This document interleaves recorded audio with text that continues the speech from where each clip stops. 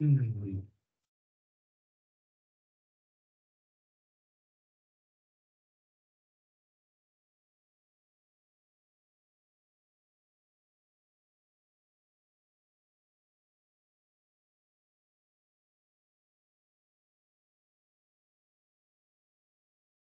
All right.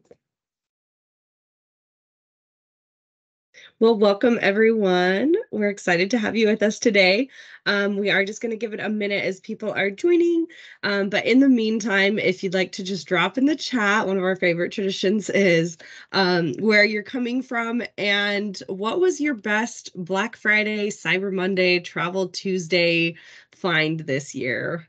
or in any year, but really, um, what was just something that um, that you were excited to find this year, and where are you joining us from?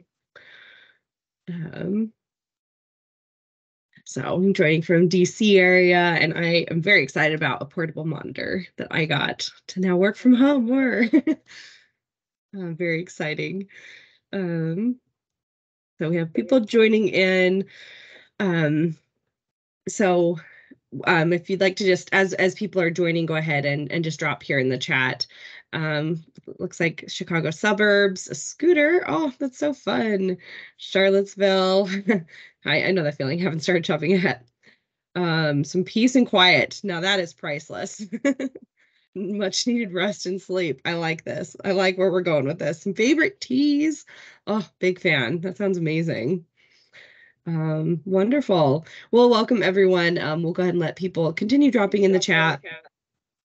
Um, thank you for joining us today for the webinar. So engaging for the long game, strategies and pivots for effective advocacy. Um, we have with us Dr. Joseph Jones. Very excited to have him with us today. Just as a quick reminder, Institute is a CAE and a CCE approved provider. So this webinar does qualify for one hour of CAE credit and one point of CCE credit. And you can request a webinar certificate by emailing us, and I'll go ahead and drop that email in the chat here. Both the recording of the webinar today and the PowerPoint will be available in the Webinar and Resource Center on our Institute page, um, typically about 48 hours after the webinar. Um, we do ask if you have any questions, you hold those until the end, and we'll ask at that time to drop those questions in the chat. So I'm seeing a lot more interaction here in the chat. Very excited to see that. Um, we'll go ahead and give a quick introduction. So Dr. Joseph Jones is Chief of Staff to the President at Des Moines University, a medicine and health sciences university in Des Moines, Iowa. He is a former member of U.S. Senator Tom Harkin's staff and former political director for the 2008 Obama presidential campaign in Iowa and was a senior staff member with the Iowa Democratic Party. He's also taught political science and public administration classes at a local community college and currently chairs the Board of Trustees for the American Council of Young Political Leaders and was first elected to the Windsor Heights City Council in 2017. Very excited to have you with us today. So, with that said, we will go ahead and turn the time over to you, Joseph. Thank you so much. And it's uh, nice to see you, CC, and everyone else from the Institute team. And uh, it's fun to be engaging at this time of year instead of summertime when I typically get to talk about these things with our, our friends from organizations across the country. Um, just so you know, there is an introduction slide um, that was very nicely created that uh, came out uh, a little bit jarbled uh, this afternoon. So uh, we're starting with slide two, but um, I'm looking forward to having this conversation with everyone. Um, as CC said in the introduction, I'm a former Senate staffer, um, former gubernatorial staffer, former chamber staffer, uh, and now a local elected official. Uh, I work uh, as faculty for IOM in the summertime, uh, particularly at Southeast. Um, and I have an academic background that's in civics education. And so I like to do research on type of work and talk about the importance of all of us being more civically engaged.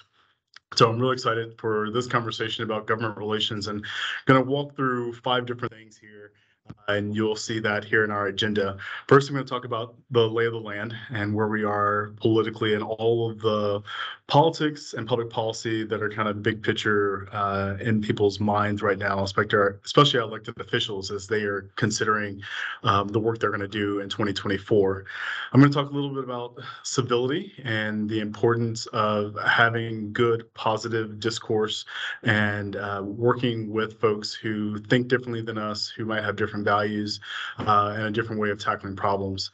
I'm going to mention some of the things uh, that are key takeaways that I've heard from other individuals who have been a part of my IOM classes on government relations and building alliances and wanting to make sure that I all of us as we get ready for um, the beginning of the legislative session and the beginning of Congress, um, the things that we need to remind ourselves of and remind boards and other um, folks in our communities of as the key takeaways from those classes. I'm going to issue a couple of challenges to you, the things that I, I think might be really instructive and informative as you move forward throughout the year. And then we're going to end on some relationship building ideas, um, things that I've been a part of, things that I've heard from others, and, and things that maybe you've done yourself. So as we get ready for 2024 from a government relations standpoint, the beginning of the congressional session and legislative sessions means we've all formulated our own agendas and we have a game plan for how we're going to approach talking to our elected officials at every level. But none of it happens in a vacuum. And so I hope that this is helpful while we all navigate the full landscape of challenges and opportunities for next year. So, in thinking through today's political landscape, people have many perceptions about government, uh, particularly from a national standpoint. They talk about it being dysfunctional. We hear people say that it's ineffective. Um, and it's one of those things where, as we look at the things that happened in Congress uh, already this year, where we've come close to um, having a a um, Speaker of the House ousted, and then having a Speaker of the House ousted, um, and then spending time uh, looking to elect a new Speaker of the House, all things that have been unprecedented. We've come close to having a government shutdown uh, and avoided it at the very last minute. And we now have a 24 hour news cycle to, to continue to deal with. And we have put ourselves into our own boxes, uh, self gerrymandering and that sort of thing. And so the work that we all do in our organizations all happen within within this sphere. The next thing to think about is Congress. With the start of Congress, you know, we talked a little bit about the speaker um, issue. We'll now have uh, two CRs to deal with in Q1 to avoid a shutdown. And we've seen recently a lot of uh, tense moments uh, to include um, some issues where um, people were called out uh, for some of their tactics and language, and we even had some conversations about uh, whether or not there was going to be physical fighting.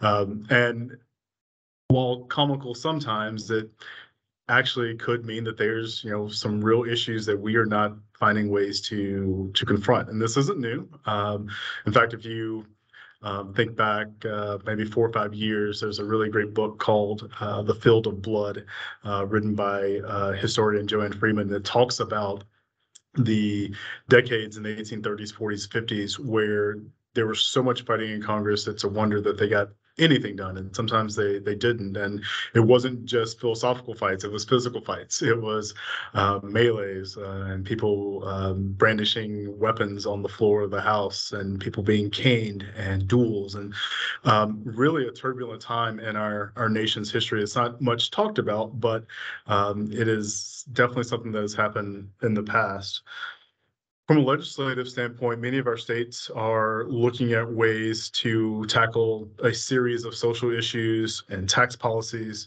and finding ways to survive how the pandemic affected our states and our economies. And both the House and the Senate and the legislative branch and in the federal branch are talking about gun violence and about immigration and in some cases border protection and how we address that. And then we have this larger global sense that affects things from the national security's perspective. So of course the uh, we're currently in a ceasefire between the state of Israel and Hamas and funding for that from the United States. There's the ongoing war in Ukraine between Ukraine and Russia. Um, and there's a question about funding and support for that there's always a constant struggle with China. The president recently met with his counterpart from China and and the economic impacts of that relationship, and always a prominence cyber, AI, crypto. So many of those issues are on the mind of our elected officials as they get into this next legislative session.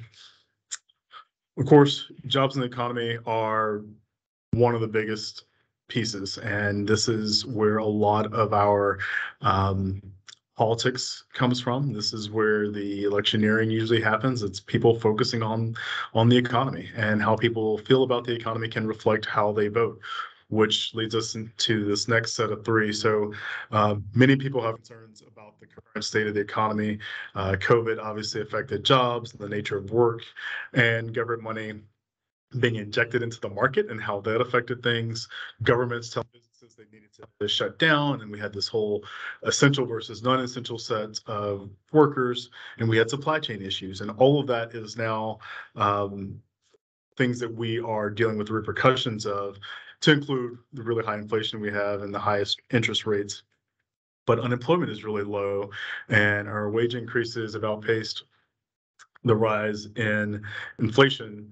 But still, 81% of people say that they view the economy as poor or fair. Um, U.S. Bank and its um, U.S. economic health check said that we're somewhere between weak and moderate. Um, so our economic activity is below the long-term average right now, but there's plenty of job openings and wages are increasing, unemployment's low, and so all of that has meant that the labor market is still resilient. But how it affects individuals and individual communities will affect their outlook on elected officials and, and politicians. Um, and those elected officials themselves will approach dealing with their counterparts on the floor of the House and Senate state level, federal level, based on the effects of the economy in their communities. And of course, even the, the U.S. Chamber last week um, sent out in their um, action alert that uh, consumers have continued uh, spending and have shown resilience despite their personal savings falling and credit card balances increasing. And the thing that I took from that particularly was the quote If our elected officials avoid adding uncertainty to the economy, like from a government shutdown, and focus on pro growth policies that address the worker shortage and help U.S. economies, U.S. companies sell more to international customers, the job market will remain robust, keeping income steady and consumer spending, which I think is really key presidential campaign. Um, I live in Iowa, so it is a hotbed for presidential candidates right now, particularly on the Republican side, as the caucuses are coming up in early January.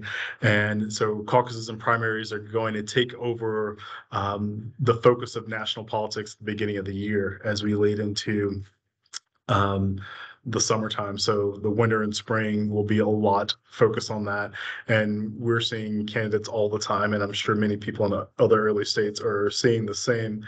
Um, it's not lost on folks who are caucus goers um, that one of the folks who are running for president, former President Trump, is facing of civil and criminal trials right now. And so that has played into much of the conversation in terms of uh, caucusing and who to primary for and who to support, who to endorse. Uh, so that has taken up some air in the space of things. And then, of course, we're going to have regular elections in 2024. Um, so our legislative sessions what happens in Congress are all going to be things that are going to build issues and items for people to run on or for people to be targeted because of how they voted for or supported. Um, it also could affect the timing of our legislative sessions. So in some cases, they may get out a lot sooner uh, and want to only move through the essentials so they can get out on the campaign trail or so they can limit the amount of things that they would have to vote on. So I say all that to say that it's not all about us. There's a lot of things that are going to go into to play as we move into 2024 and start to work with some of our elected officials to get things done. But I want to start with civility. And it's really important in my mind to get to know and understand people. It's hard to do that in this environment. I talked about the 24 hour news cycle and, what that means for people getting their uh, say and for grabbing attention. But I do think it's important to understand the people who we interact with, whether or not we agree with them or not. It's really quite possible to understand something or someone without agreeing with them um, on those things or even agreeing that the thing they want to do is correct, but understanding where they're coming from, listening to them and what's their why and how you can meet them where they are is really important. So from a civility standpoint, I hear constantly, why do I always have to be the adult in the room? Or I'm tired of turning the other cheek, or it's exhausting to listen to other people. And while all of that might be true, try to think about having these moments where your best day is when you can engage in the best civil uh, interactions. The days that you feel exhausted, you feel tired, it, it might be okay to step away um, and and take a deep breath, or at least remind yourself that there's other people who want to engage, and and you should engage with your best foot forward. And it can be frustrating. I know it. Uh, definitely frustrating for me when I I just want to be heard uh, and others aren't listening and and you wonder why the other side might seem like they're being selfish or that they're they're being tone deaf. And it's important to remember that when you put yourself in their shoes where they're coming from and think about taking that to be civil with them. Now you might remember this from the NGA i found this to be uh, a really neat tweet from the governor of Utah, and it talks about their competition over many things. And um, this tweet is a part of the Disagree Better campaign. And I know that we put in the chat earlier about people's um, holiday shopping as they get ready um, between the holiday seasons. And um, this video, I think, speaks to how we interact and talk about um, issues, but ways that we can do it civilly because really our civility begins at home and then it extends out into um, the larger professional um, world. And so this is going to be really important, I think, as we start up the 2024 legislative and congressional sessions. And so I just want to watch this video with you.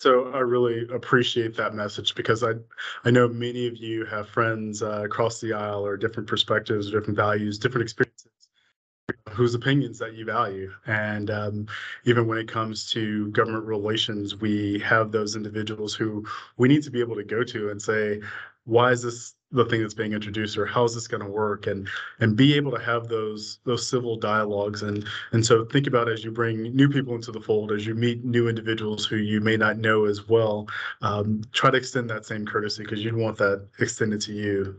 Um, anything about this video stand out to you or struck you in particular? You can feel free to throw it in the chat. I appreciate the comment from from ryan uh, there as well.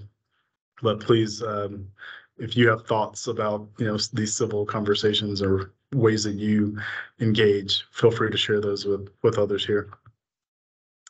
So I talked about civility starting at home, but I like to think of it this way in terms of how I engage another individual. I start first with thinking about they're just another human being like me. Um, they're another um, civically minded individual who's also an American.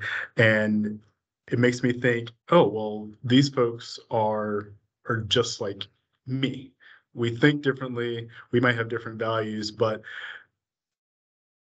they're the same. They they are engaged, they are keeping up with the issues, they want to be a part of what's happening. And I should give them the same courtesy and respect because they're coming from a different standpoint, um, because I'd want the same thing. And this goes for our elected officials as well. They're still people. Uh, and this is all about building relationships. So try to think about assuming good intentions and giving folks the benefit of the doubt. Um, I know many of your organizations also introduce civility pledges or um, civility statements at the beginning of um, public events or when you have forums or any sort of conversations that might be difficult conversations where you give the opportunity for people to speak freely but also be respectful of one another. And i think that that's really important as well as we approach this. And in thinking through and thinking about civility i think about two folks in our community in Iowa who really helped us as a community to understand the importance of having these dialogues. And I know many of you uh, have folks in your own communities that you can think of whose organizations are diametrically opposed to each other, or somewhere within your state, leaders who uh, stand really strongly in their convictions on one side or the other that you could never imagine sitting down and having conversations. So, you know, I want you to keep in mind who those visible rivals are uh, in your community or in your state, and imagine them doing what I'm going to show you here. This is uh, a video that we're really proud of, uh, kind of across our state in the public policy sphere, and that highlights the relationship of Donna Redwing, who is the now deceased uh, former executive director of One Iowa, an LGBT Q rights organization in Iowa, and Bob Vander Plaats, uh, who is um, the CEO of the Family Leader, which is a um, a Christian um, organization that spends a lot of time focusing on families and on family values. And you may have actually seen recently that Bob uh, made an endorsement in the uh, in the caucuses uh, that are coming up in January, and, and his endorsement, along with the support of his organization, will be a big deal in the Republican caucuses. But this video highlights the unlikely friendship between the two of them, and I want you to to give a second to this and and watch it with me, and then we'll we'll chat about it here in a second.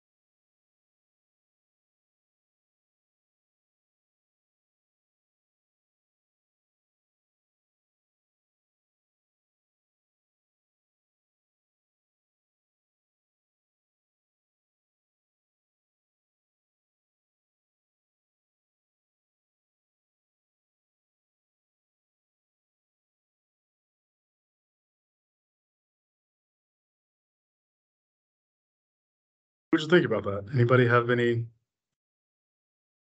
any reaction?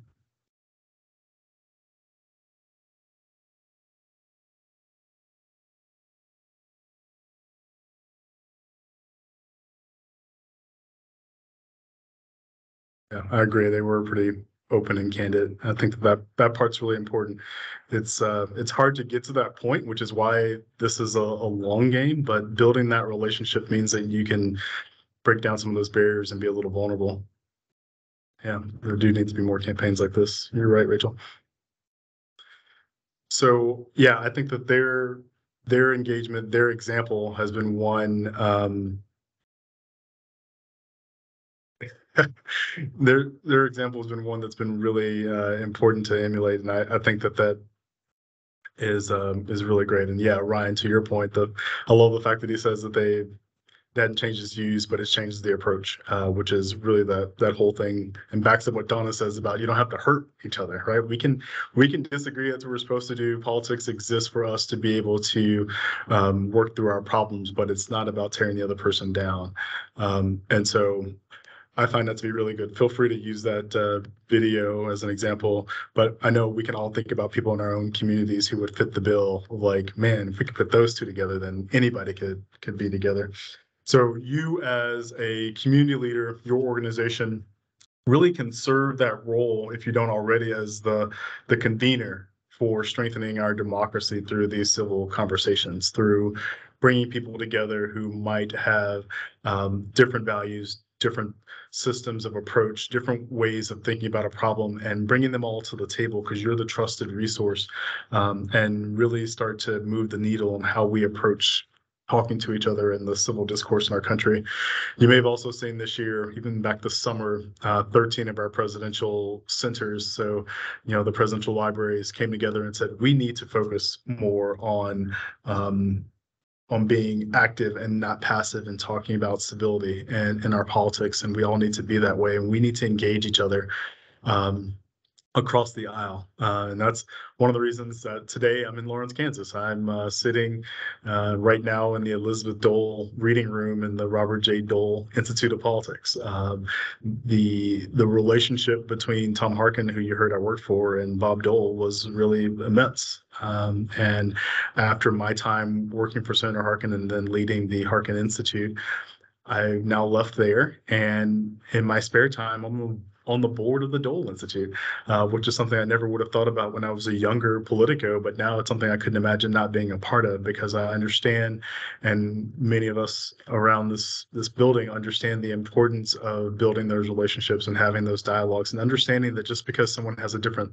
letter behind their name doesn't mean that they can't come up with good public policy as well that we can support. So I think all of us can think about ways that we can dial back the rhetoric and bring down our, our heavy handed approaches and our tone to better engage people across the aisle.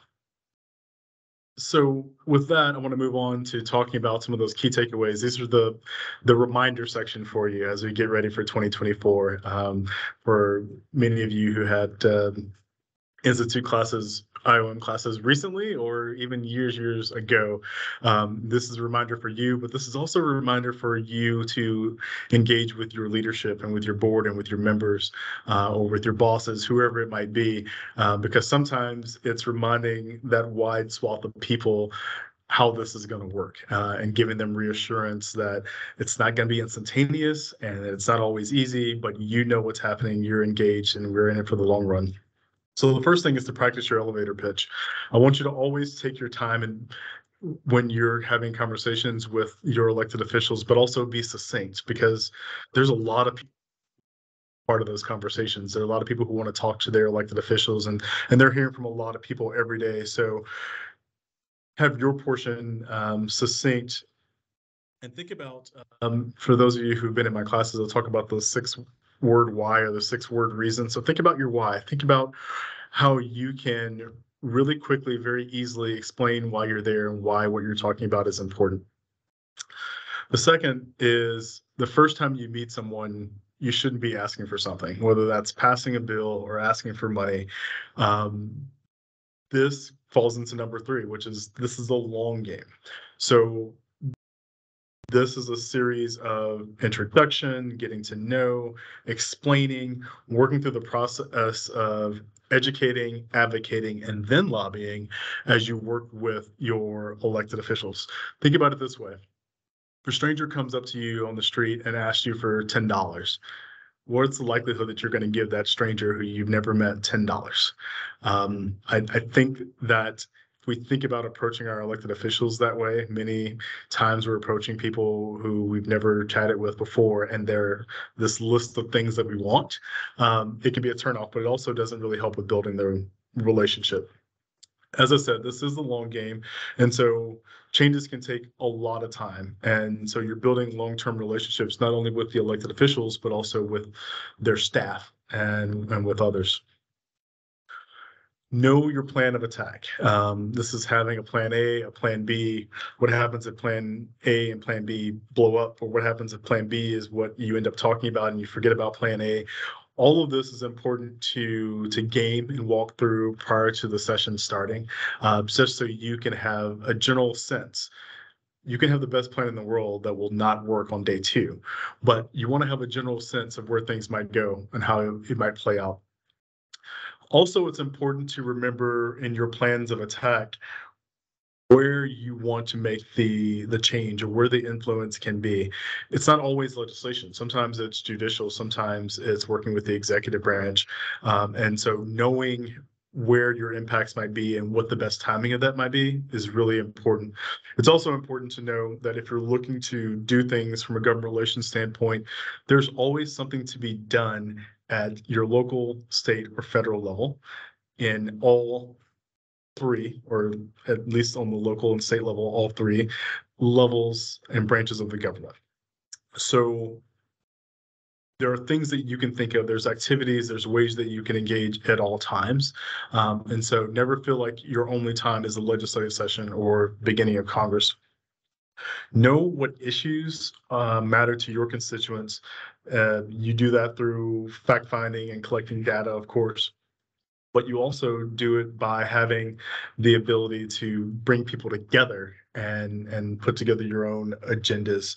And understanding others is really important too because you want to figure out what other groups what other entities what other constituencies have mutual issues to mine um, and what other entities might have divergent issues from mine and how might that affect things and knowing what matters to other people's constituents is really important too because your issue might not be supported by everyone that's at a committee or everyone who is in that chamber. And so understanding that and understanding why that might be is really important. Or what happens if the person who chairs the committee you need legislation done represents a district that will be adversely affected by the thing that you want. You should know that ahead of time. Fill that out so you can understand how you might approach having those conversations with that person.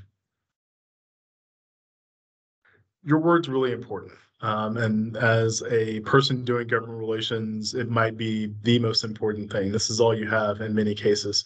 I've always found it really important for people to say, I don't know when they really don't know the answer to something, but I'll follow up or I'll go get that information for you. Never make anything up. Um, it's really important to build that trust by saying, here is the fact based information, here are the things that we know. I can get you the other information that you you might need. One of the things that you're doing in your government relations program is becoming that resource. You want to be one of the last people they call to make sure that what they're about to vote on when it comes to your issues is something that you've given them full range of information on. You've given them your full perspective and told them why they should or shouldn't support it. You want to be on that that call list. Uh, and as a former staffer, that was one of the things I, I made sure I did. I wanted to make sure I called our key folks back in the state before we took a vote, just so I made sure we're on the right page, or at least we're going in with both eyes wide open as we approach something. Um, also, as a former staffer, I will say to you that um, staffers are sometimes the best messengers. Um, many times when you're building the relationship with the elected officials, you should simultaneously think about building that relationship with the staffers. Uh, these are the people who are going to be working in those issues for years to come, but they're also the people who are going to be the last to talk to the boss before they vote on something. Um, and that might be in caucus at the legislative um, level, or it might be the actual physical walk from the Senate office building through the tunnels over to the Senate floor. And that's the reminder, that's the conversation, that's the last person the member talks to before they go onto the floor to vote. In my very best days in the Senate, that would be seven minutes of time. Um, and that's how much time I would have to remind the boss of having this conversation with you months prior, what the bill does and how my recommendation or my team's recommendation and vote will go, and then they go off to the floor to vote. So, building that relationship with the staff is just as important uh, and vital to your government relations work as the elected official. And then also keep it simple. Uh, I always like to advocate one pagers, um, and that gives enough information for the member or for the staff person to have the key highlights and then they can come back to you if they want to go further in depth or they can come back to you if they want to sit down and have more um, information brought to them and, and gone through more deeply i also say this because this is a good time when you start to build these relationships or you continue to build the relationships to know how your members and your staffers would like to be communicated with. Um, sometimes they want to get emails from you. Sometimes they want to do uh, a sign up for their newsletter. Sometimes they might want you to visit with them you know during recess. I know that i really only wanted to have hard copy one pagers um, and i could then use that as my reference points in my binders and then go back and get the more in-depth conversations accomplished during the recess or perhaps when i know that the legislation is getting closer so ask them, ask them how they want to be communicated with. Um, that can go a long way as well. Now, here are a few of the things that I want to challenge you to. And there's four challenges. You can take all four and let me know how you do at the end of 2024. Um, one is figure out your why. What is your why? Why do you do what you do? Um, as I mentioned earlier, if you're ever in my my IOM class, I talk about the six word why. Um, but think about the things that come to mind when you think of your values as an organization, why you do the work you do, and why it's important. And understand that. Really drill down and know your purpose, know your why. Second is a little bit of a harder challenge. Um, and talking about civility, oftentimes some of the conversations we have are uncivil because of information bias or confirmation bias. We have this self selection for information, just like we have self selection for the groups of people we like to live around. And so, my challenge to you is to try for a week or a month or even the whole year to listen or watch or engage news and information in a different way. So, if you do it only on social media or mostly on social media, add in or switch out watching TV or reading print or the exact opposite. If you're the the TV or the print person, try picking up your news on social media. Think about, you know, what it would be like to engage in that way. And then also the opposite end. Think if you listen to or watch news that you would consider somewhere in the middle or neutral-ish. Um, think about picking up news on the right or the left that you can scan the same story across more than one source. Or if you watch or listen to news that could be seen as left leaning, try starting to engage more on the right. And then think about the people who only use that one source as their source of information uh, and how that might somehow affect your interactions with someone who who does that. And so I remember when I worked in the Senate, I would start my day with Fox and Friends. I would end my day with MSNBC. And in the middle, I would watch local news and CNN and then read the Wall Street Journal, the New York Times, and Al Jazeera, and try to get a full perspective of all these different information sources and how I might uh, understand the folks that I'm engaging with based on understanding where they're getting their news from, but also how they are talking to those outlets. That was really important to me. So I challenge you to think about doing that. The third is try to grow or build an advocacy committee. Um, and I know many of you in your organizations already have an advocacy committee that comes together to build agendas, but think about growing that apparatus uh, if you already have one.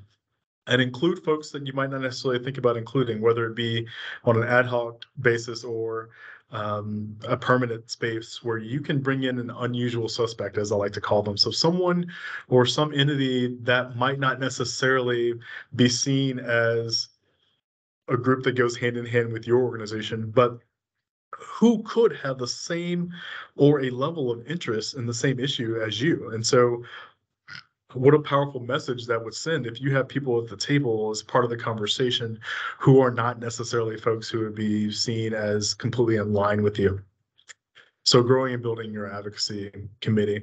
And then lastly, I would say is find someone to share and throw out ideas to, to uh, get challenges from, who you can ask tough questions to in a non-judgmental and trustworthy environment. Um, so sort of like the Bob and Donna conversation we saw earlier, um, I have multiple friends who I have as my go-to as the person, the people that I want to talk to about these issues as we are entering contentious times in a legislative session.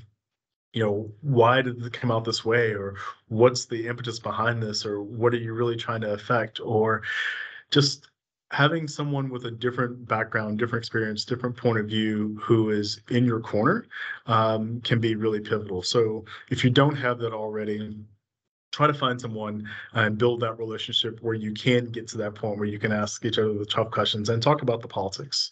Um, and if you do already have someone, continue to grow that relationship or maybe add another individual to your list. When we talk about relationship building, it's important to think about it in the context of when, where, why, and how. So thinking about it, it's advocacy is a year-round relationship building exercise. And it's sometimes most effective when they're not in the heat of a legislative session or when Congress isn't on. So think about your win and how you might approach them where. So be available and accessible within reason, but you want to be that resource, like I said earlier. You want to be that phone call. You want to be the person they want to talk to and meet with um, before they make major decisions. So being available to them where you can, either at the Capitol or by phone or going out to their districts and meeting them, all really important to that. How? Think about how you communicate with them. Remember to ask them how they want to be communicated with. And so you can communicate with them according to their preferences and not your own. Um, and that'll go a long way. The why is all about tying it to their district and their constituents, uh, how it might affect them, what the important thing is, but also being honest about how it might affect others within their constituency as well. Because one of the questions that you often get asked is, okay, yes, this group supports it, but who doesn't support it? Um, and knowing that, being aware of that, uh, is helpful and also impressive to the elected official. And then I put appreciate in the middle, show that appreciation. Tell them when they're doing things that are going well and the things that you like, just like when we like to tell them that they're doing things that we don't like or we want to criticize. So showing that appreciation for someone who has raised their hand and said, I would like to go and represent you in this body. Um, showing them that appreciation for the work they're doing is is really important too. And i try my best to always begin and end with that appreciation. So year-round session accessible and available communicating to them with their preferences and thinking about their constituencies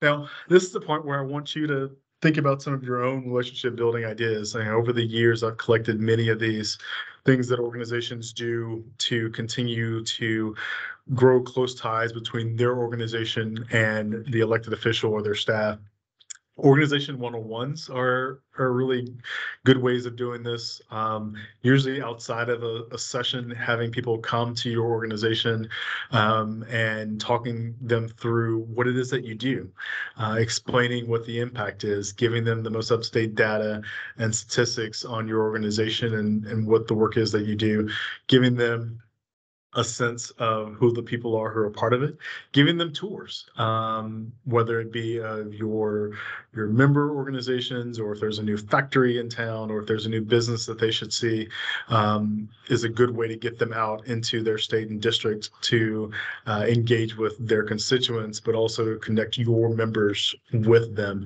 Um, I always like to say this is a good thing to do with the district and state staff as well, because as you build those relationships, it gives them something to do with their member when that person comes back to to town to say, hey, let's go out to this new plant or let's go out to this expansion um, where they're going to bring in, you know, 40 new jobs. You know this is something i can build on our agenda for our tours. And so it's a mutual um, relationship building exercise here. Staffer lunches um, i know many organizations even when i worked for the greater des moines partnership we would do um, kind of a reverse fly-in. So we would bring um, the DC staffers along to Des Moines, along with meeting up with the staffers who worked in the state with the governor's staff and folks from the legislature all to to visit and we would give them tours. We would have a big lunch and have conversations about our policy issues and some of the major projects we're working on. You can also do the same thing with elected officials for lunches to introduce your policy agendas. Um, and if any of you have other thoughts or ideas or things that you do that work well, please put those in the chat for others to see um, those panel discussions where we can talk about uh, issues or the things that are going to be on our legislative agenda and have people from both parties represented, both chambers represented, um, sit and discuss how the agenda of the organization matches up with the agenda of their caucus or them individually. Um, appreciation picnics can be a part of that. Um, having them on your podcast or introducing them through um, your newsletter or having them write a simple, you know, two or three paragraphs about what they've been up to.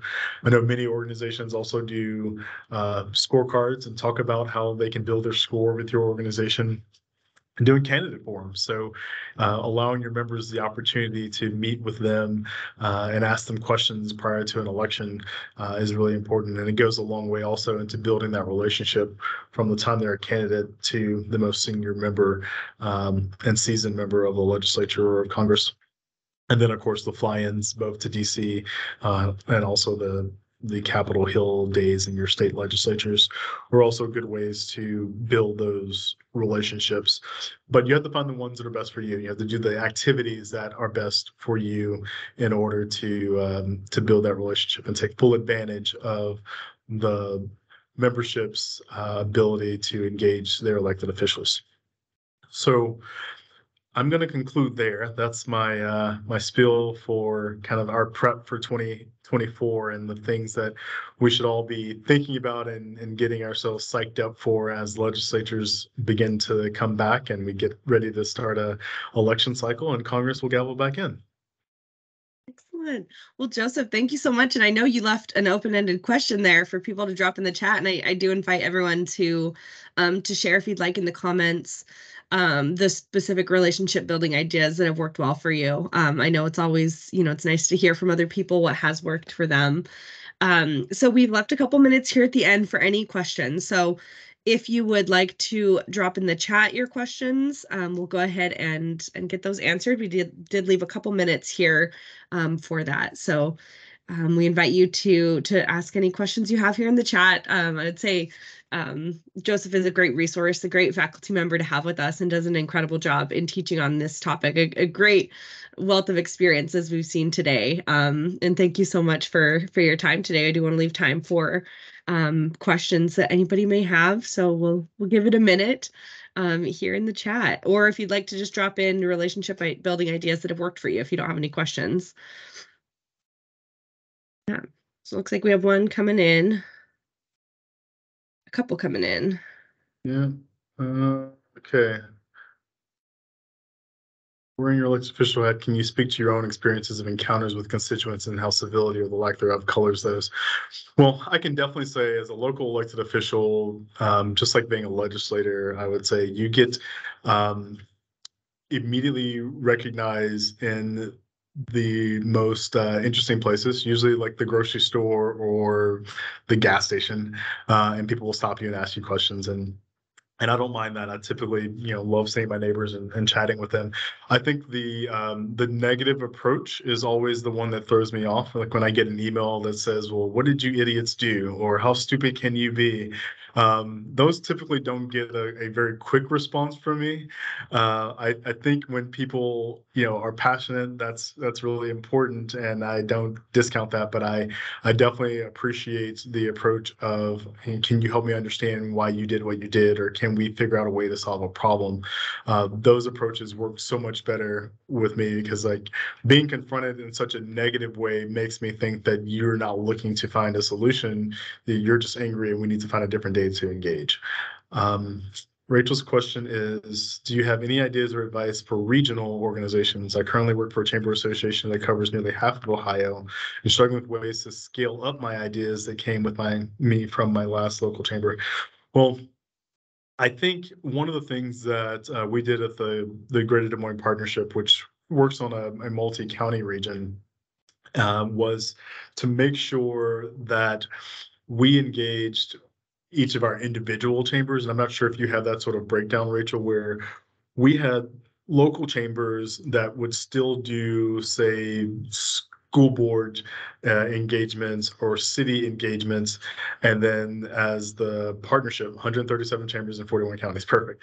Um, and so we kind of divided and conquered how we approach certain things. And so the congressional engagement would be done by us, but the, the local engagement was mostly done by the local chambers but we would help support the forums and we would help support the um, everyone was coming on the fly in and we would all engage together on doing the welcome session for um, the legislature when they came back to Des Moines for uh, their first night reception. Um, and but it, it definitely took some time to get to that point because the the organization was formed fairly recently in the last 20 years. And so having those individual chambers then say, we're going to funnel up and allow advocacy from the larger umbrella and economic development from the larger umbrella, and we'll still take these individual things. But you and I might want to talk uh, separately about some of those concrete things that we did and, and how they still are um, are useful. Be happy to do that.